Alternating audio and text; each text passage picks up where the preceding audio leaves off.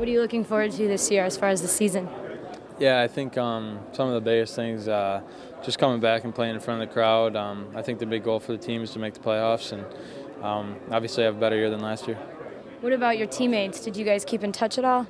Yeah, through the summer, there's a you know a lot of talking, a lot of texting, calls, and um, it's good to stay in touch. But it's always good to come back and see the guys, and um, I think that's the most important thing to come back and you know get on the ice with them and get ready and get going for the season. Everyone's been talking about this January 1st game. Yeah.